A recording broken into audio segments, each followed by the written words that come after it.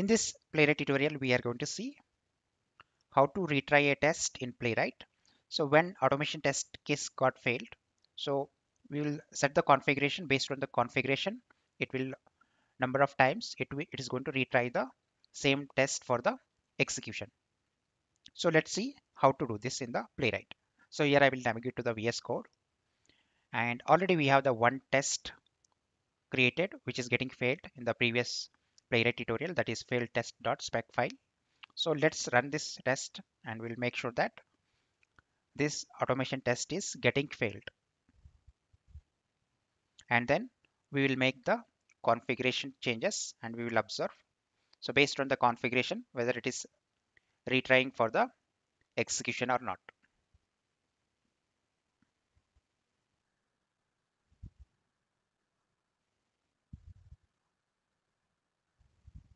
and if you see here guys so our test should get failed so it will throw the results. Let's wait for a few seconds. And if you see here guys actual string and expected strings are not matching. So that's the reason our test got failed. So our test is getting failed. So let's look at the report as well.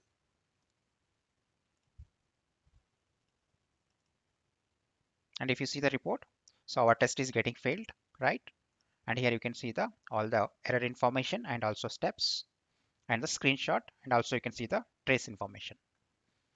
Now how you can set the configuration to retry the failed automation test? So you need to go to the playwright.config.js file. And here you can see the defined configuration inside this one. So we have the one flag called retries so right now, the value is passed on to the pipeline. If you see here, already 2 is there. So the, whenever we are executing the playwright automation test from the pipeline, so it is going to retry the two times when test is getting failed. But to run, that means to run the rerun the failed test automatically, you need to pass the value over here. So right now I'm passing it as 1.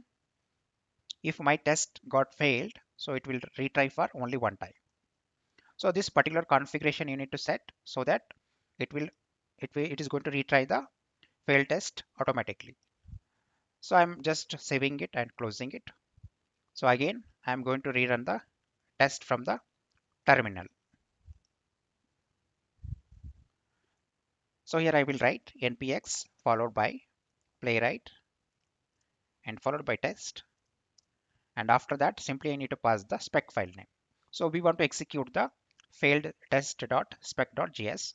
So that's the reason here I'll write failed test.spec.js.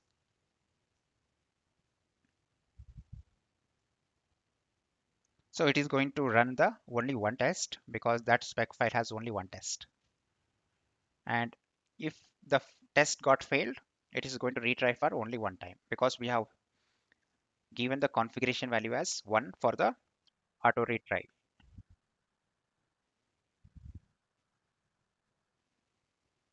So first time it is got executed and our test got failed. It is going to retry the first time.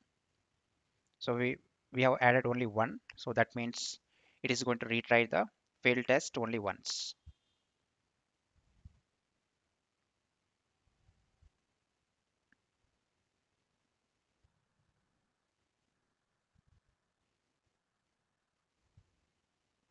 And if you see the output also here that is the very first retry.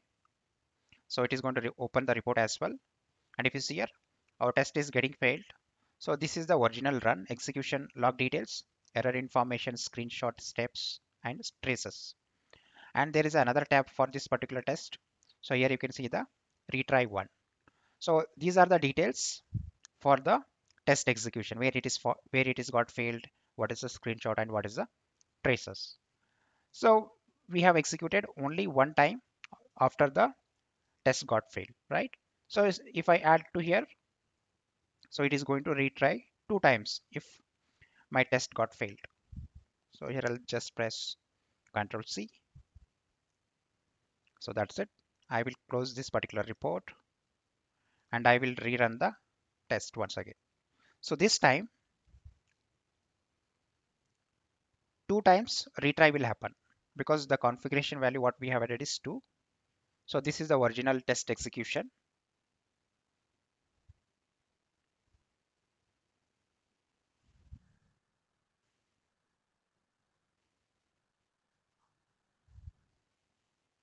So this time our test got failed and first retry will happen here. So retry number one.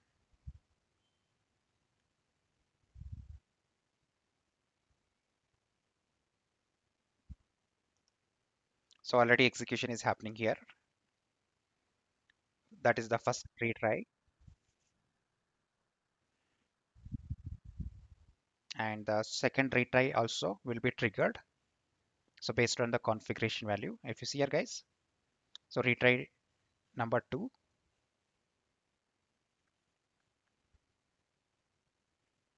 And here we can see the results also. That means the execution is happening.